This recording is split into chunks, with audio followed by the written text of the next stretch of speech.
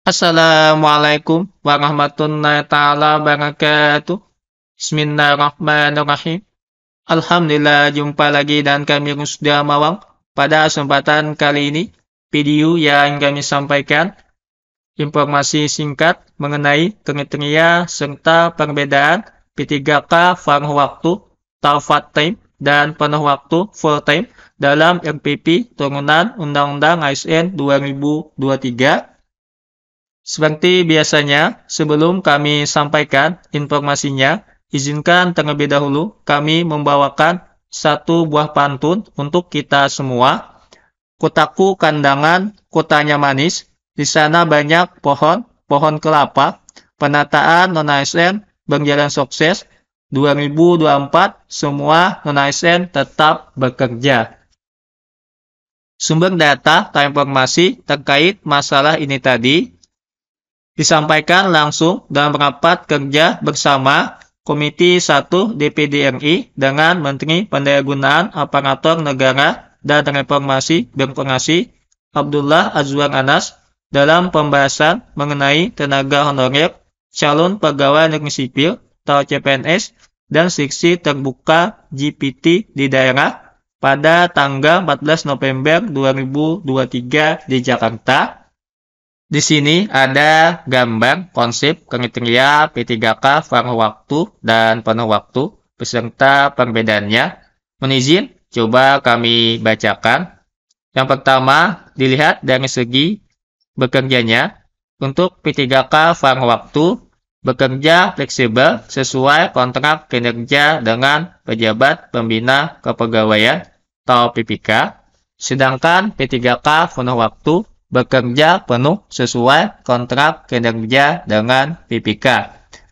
Perbedaannya di sini pada kata fleksibel dan penuh. Untuk P3K valuh waktu bekerjanya fleksibel, artinya bisa menyesuaikan. Sedangkan P3K penuh waktu bekerjanya secara penuh. Itu yang pertama. Yang kedua, ditinjau dari segi pelaksananya untuk P3K valuh waktu, pelaksanaan tugas tidak memerlukan waktu kerja penuh tidak satu bulan, sedangkan P3K penuh waktu, pelaksanaan tugas memerlukan waktu kerja penuh satu bulan. Perbedaannya sudah sangat jelas teman-teman pada waktunya. Untuk P3K valuh waktu, karena sifatnya valuh waktu, artinya tidak mutlak bekerja penuh atau satu bulan. Sedangkan untuk P3K penuh waktu, karena sifatnya penuh waktu, artinya mutlak bekerja penuh atau satu bulan. Yang ketiga, ditinjau dari segi penghasilannya. Untuk P3K penuh waktu, penghasilannya berdasarkan output atau layanan. Sedangkan P3K penuh waktu, penghasilannya berdasarkan kinerja yang bersangkutan. Di sini perbedaannya untuk P3K valuh waktu berdasarkan output atau layanan, artinya tergantung nanti berapa jam atau berapa layanan mereka bekerja, sedangkan P3K penuh waktu di sini penghasilannya berdasarkan kinerja yang bersangkutan.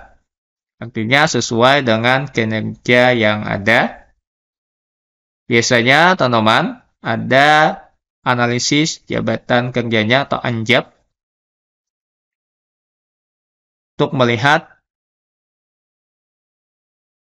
job atau pekerjaan-pekerjaan yang akan dikerjakan untuk P3K penuh waktu ini.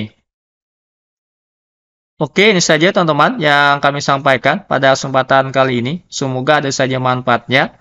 Mohon maaf jika dalam penyampaian kami atau penjelasan kami ada yang kurang atau salah dalam menjelaskan. Akhirnya kami sudah dengan wabillahi taufik wa Assalamualaikum warahmatullahi wabarakatuh.